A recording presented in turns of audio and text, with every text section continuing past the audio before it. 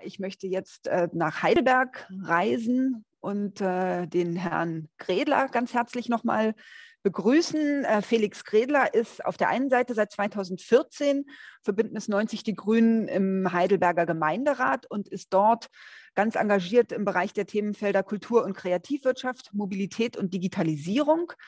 Er wird uns jetzt äh, gleich über das Projekt Bahnstadt Heidelberg berichten. Und das Spannende ist, dass er auch ganz persönlich in dieses Projekt involviert ist, nämlich als geschäftsführender Gesellschafter der sogenannten Halle 2 in Heidelberg. Das ist, äh, wenn ich das richtig verstanden habe, eine Kultureinrichtung, die dort in diesem Quartier ist. Das wird er uns gleich bestimmt auch nochmal ähm, näher erläutern. Und das ist natürlich total spannend, wenn man so einen Katalysator für eine Quartiersentwicklung schon mal in so einem Quartier hat ähm, die äh, Nutzungen, die dort angeboten werden, auch so einen äh, Charakter von äh, gemeinschaftlichem Zusammenkommen und Zusammenhalt in so einer Kultureinrichtung. Das ist äh, ja wahnsinnig wichtig für so ein neues Stadtquartier. Und insofern freue ich mich total auf seinen Vortrag und übergebe ihm jetzt das Wort. Ja, schönen guten Morgen äh, aus äh, Heidelberg. Vielen Dank für die Einladung. Viele von Ihnen kennen Heidelberg äh, vielleicht so, äh, wie Sie es jetzt hier auf dem Bild sehen, aber es soll heute gehen um die Bahnstadt. Auch Heidelberg ist äh, stark am Wachsen, deswegen haben wir ein neues Stadtquartier oder einen neuen Stadtteil äh, gegründet.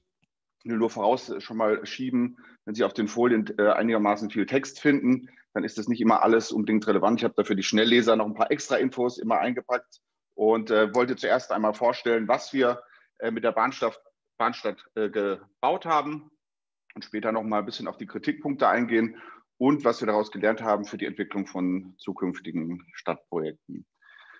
Wurde ja kurz vorgestellt, bin Stadtrat in Heidelberg und tatsächlich wohne, lebe und arbeite ich in der Bahnstadt. Insofern vielleicht auch ein bisschen befangen an mancher Stelle, aber natürlich intensiv da drin. Und ich betreibe tatsächlich dort großes Veranstaltungshaus, die Halle 02, mit über 200.000 Besuchern im Jahr, die tatsächlich als eines der letzten einzigen Gebäude, das vorher schon stand, äh, integriert werden konnte auf diese Fläche.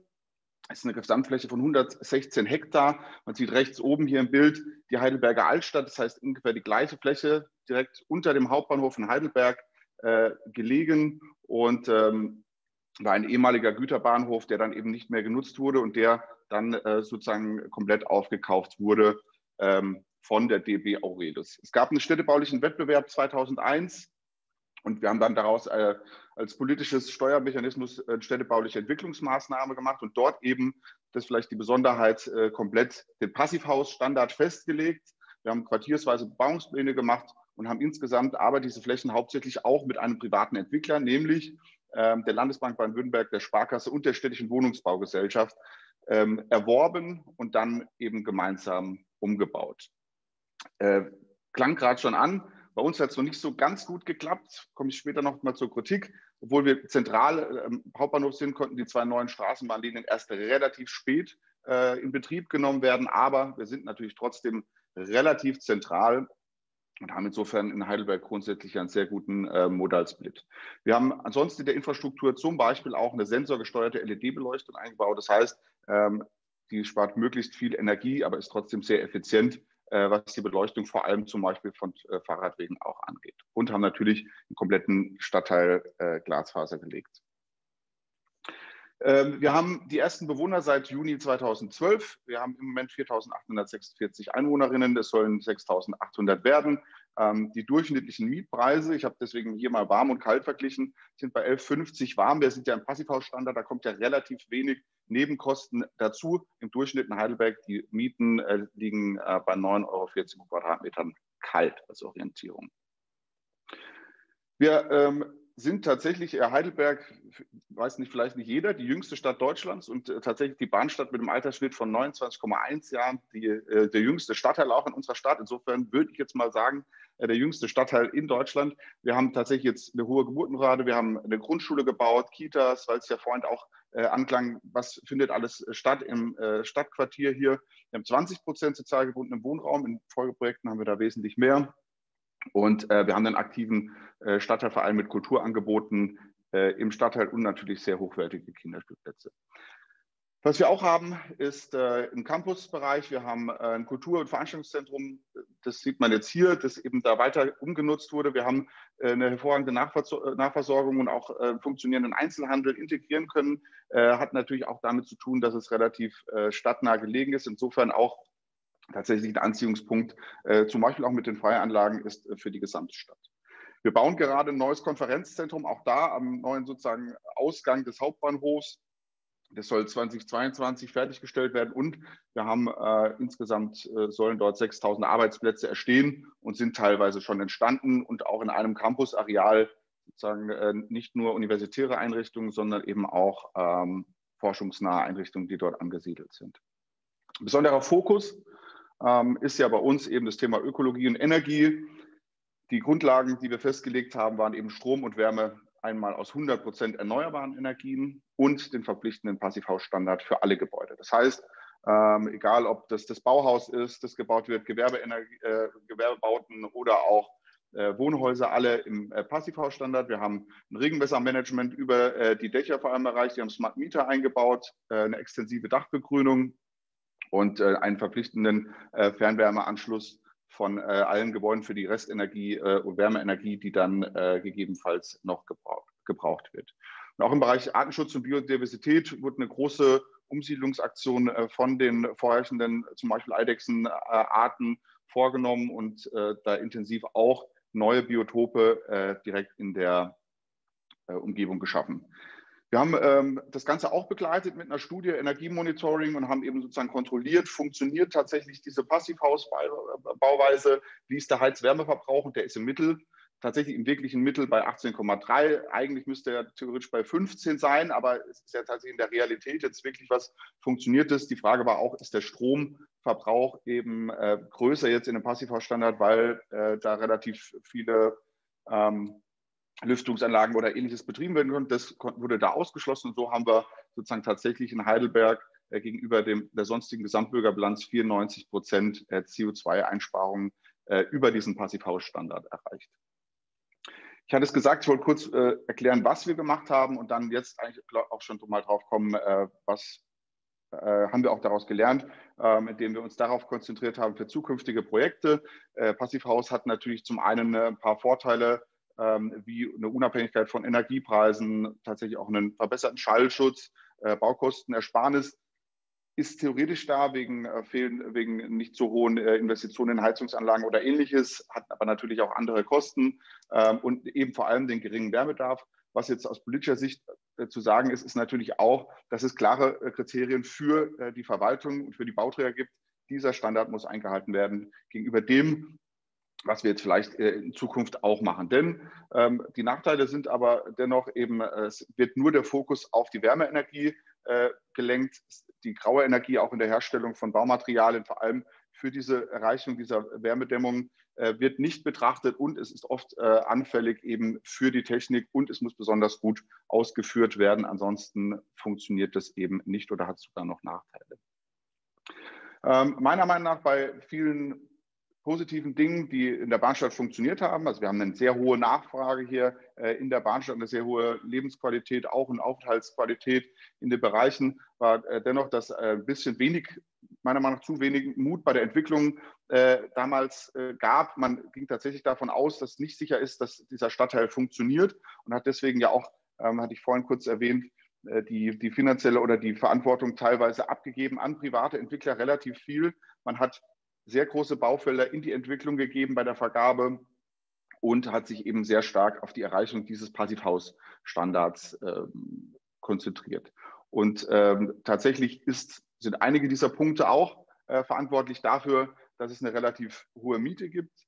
Ähm, ich will jetzt nochmal die Kritikpunkte aufzeigen und dann eben nochmal, äh, was wir dafür gelernt haben. In Heidelberg gab es ja einen großen Stützpunkt der amerikanischen Streitkräfte, die abgezogen sind. Insofern noch viel Potenzial, äh, das wir jetzt gerade entwickeln. Wir sehen hier, ähm, auch wenn hier eintönige Architektur steht, einem meiner Meinung nach relativ gut gelungenen ähm, Beispiel für Architektur, wie es gehen sollte. Aber in vielen Bereichen hat es eben äh, nicht so gut geklappt. Und auch die geringe soziale Durchmischung aufgrund äh, der hohen Preise wird äh, kritisiert. Wir haben Förder, viele Fördermaßnahmen, die gar nicht genug abgerufen werden, aber es ist natürlich erst im Nachhinein passiert, ähm, eine Subjektförderung und dadurch ähm, ist es äh, nicht ganz gelungen, die soziale Durchmischung zu erreichen, die wir sie wollten. Es gibt zu wenig Ladeinfrastruktur für E-Mobilität in den Wohnungen ähm, und ähm, tatsächlich auch bei den Grünflächenanteil. Wir haben ja sozusagen versucht, wegen möglichst wenig Flächenverbrauch auch eine hohe Dichte äh, zu erreichen, äh, ist in Kritik. Ich habe vorhin gesagt, dass es äh, äh, gerade für die Artenvielfalt und äh, für die Biodiversität viel getan wurde. Was nicht gemacht wurde in diesem Bereich, ist, dass bislang auf Photovoltaik verzichtet wurde. Man hatte damals noch angenommen, dass es äh, sich nicht mit der extensiven Dachbegrünung so gut verträgt. Das wird jetzt nachgerüstet und man hat tatsächlich nicht auf Wärmepumpen gesetzt. Der ganze Stadtteil wird, ähm, weil es damals auch noch nicht so große und effiziente Anlagen gibt. Dieses Ziel war ja auch, äh, den Energiemix mit 100 Prozent nachhaltigen Energien auf den Strom äh, zu besorgen. Und deswegen haben wir da ein Holzheizkraftwerk äh, gebaut, das dann sozusagen den Strom CO2-neutral und auch eben die restliche Wärme für die Bahnstadt liefert. Auch die Radinfrastruktur, wir haben in Heidelberg, hatte ich vorhin gesagt, sehr, sehr hohen Anteil auch am äh, Umweltverbund, äh, ist mittlerweile schon zu gering dimensioniert, was eigentlich ein Erfolg ist, aber natürlich jetzt äh, schon ähm, uns davor die Aufgabe stellt, da äh, nachzurüsten. Und tatsächlich haben wir auch einen zu hohen Autoanteil, weil der ÖPNV-Anschluss ähm, relativ äh, spät erst äh, dazugekommen ist. Wir ähm, haben zwei Projekte, wo wir uns äh, jetzt aus den Erfahrungen lernen können. Insofern war es erfolgreich auch zu überlegen, ähm, diese, dieses Projekt mal durchzuführen. Äh, wie passiert das jetzt weiter? Das ist einmal Patrick Henry Village äh, und das Gelände vom US Hospital. Die sind ungefähr, also Patrick Henry Village doppelt so groß äh, nochmal äh, wie die Bahnstadt. Da wollen wir eben jetzt uns weiterentwickeln. Äh, zum einen eben statt dem, ähm, dem Fokus auf Passivhaus eine ganzheitliche Betrachtung äh, des Quartiers zu übernehmen, vielmehr auf das Thema Mobilität auch noch ähm, Wert zu legen, die Energiegewinnung im Quartier äh, über Wärmepumpen etc. viel stärker noch äh, zu forcieren ähm, und aber auch das Thema graue Energie ähm, und sogar auch äh, die Geräte, die elektronischen Geräte im Privathaushalt ähm, stärker ähm, mitzugestalten. Wir werden dort ein neues Fernwärme- und wechselwarmes Netz machen. Das ist sozusagen auch ein, ein zentrales Element, äh, um die Energiekreisläufe in diesen neuen Stadtquartieren aus der Erfahrung der Bahnstadt äh, eben noch besonders äh, effizient zu machen. Ähm, insofern wollen wir da einen Eigenversorgungsgrad von 53 Prozent erreichen. Und was eben gerade hier noch in Diskussion ist bei der neuen Entwicklung, ist tatsächlich, was ist der Grundstandard von Wärmedämmung? Können wir da auch von Passivhausstandard äh, ausgehen oder ist es ein gewisser KfW-Standard, auf dem dann grundsätzlich äh, das aufbaut und eben diese weiteren äh, Punkte dazukommen? Da sieht man mal, wir sind da sehr gehen da sehr ambitioniert dran, ist natürlich jetzt im Detail schwierig zu blicken. Ich wollte nur damit äh, mal zeigen, wir haben da sozusagen ein sehr ausgeklügeltes ähm, Wärme- und Energiekonzept, das im Stadtteil sozusagen funktionieren soll und sozusagen die Weiterentwicklung ist von dem, was äh, wir im Stadtteil entwickelt haben. Damit äh, will ich äh, schließen mit einem Foto genau von äh, der Bahnstadt. Wir haben tatsächlich auch so einen ähm, kleinen äh, Fluss oder Flussähnliches äh, angelegt, das auch sozusagen zeitgleich für die Wasserretention gültig ist. Das heißt, hier wird eben die Versickerung gemacht und ist tatsächlich eine hohe Aufenthaltsqualität auch im Sommer zum Beispiel für eine sehr attraktive Aufenthaltsfläche. Soweit. Vielen Dank. Super, Herr Gredler, ganz, ganz herzlichen Dank auch für dieses spannende Input und besonders äh, cool finde ich ja daran, dass Sie jetzt wirklich die Erfahrungen, die Sie aus der Bahnstadt gewonnen haben, auch gleich schon wieder in neue äh, und weitere Projekte einfließen lassen können. Das, das ist, glaube ich, sehr gut, wenn sich die Stadt auch da bewusst ist. Man muss daraus lernen, man kann heute Dinge anders tun, man hat neue Erkenntnisse gewonnen. Ähm, also das finde ich sehr, sehr spannend. Mich würde noch mal mit Blick auf ähm, Ihre Kultureinrichtung interessieren, inwiefern, inwiefern die dann so als Quartiers Mitte oder Zentrum wahrgenommen wird. Spielt das eine Rolle vielleicht auch jetzt gerade in der Corona-Pandemie oder ähm, wie stark sind Sie in dieses Quartier eingebunden da? Ja, es war tatsächlich äh, ein Wagnis, äh, wo wir uns auch nicht sicher waren, ob das ähm, so funktioniert mit dem äh, Einbinden. Und ähm, tatsächlich wurde da zum Beispiel der, äh, der Stadtteilverein auch für diesen mhm. neuen Stadtteil äh, gegründet in der Anfangsphase. Also es war tatsächlich der erste Treffpunkt, den es gab. Wir haben ja auch bei uns einen Biergarten zum Beispiel noch dabei mhm. und ein Restaurant und es schafft dann sozusagen auch alltägliche ja. äh, Treffpunkte, aber bietet natürlich auch für alle größeren Veranstaltungen hier im Rahmen für den äh, Chor, der sich äh, geboren hat und so weiter, für Auftrittsmöglichkeiten und wird natürlich auch mit der umliegenden Außenfläche sehr stark als identitätsstiftender Faktor sozusagen äh, wahrgenommen. Allein auch mit dem Gebäude, dass es sozusagen mhm. so ein bisschen das noch ausstrahlt, weil der relativ ja. viel neu ist. Genau. insofern hat es ganz gut funktioniert, trotz der Angst, dass es eben zu, zu großen Lärmkonflikten kommen mhm. könnte. Ah, sehr spannend. Genau, das ist ja oft so ein, so ein Knackpunkt. Ne? Aber ähm, ja, schön, wenn man in so einem großen Neubauquartier wirklich auch ein historisches oder ein altes Gebäude hat, was man integrieren kann und was da ja dann andere Alleinstellungsmerkmale und einen anderen Charakter auch in baulicher Weise reinbringt. Ich gucke mal hier ganz kurz auf die Fragen. Da war eine Frage, die fand ich sehr spannend, äh, nochmal auch zur äh, Zusammensetzung der Bevölkerung. Ich glaube, viele Leute hatten ein bisschen verwundert, dass ähm, Heidelberg so einen niedrigen Altersdurchschnitt hat. Oder ist das jetzt nur die Bahnstadt? Oder ist das die äh, gesamte äh, Stadt? Und, mhm. Ja? Äh, Heidelberg ist tatsächlich sehr jung, hat natürlich damit zu tun, dass wir eine sehr große Universität auch mhm. haben äh, und viele von denen angemeldet sind grundsätzlich.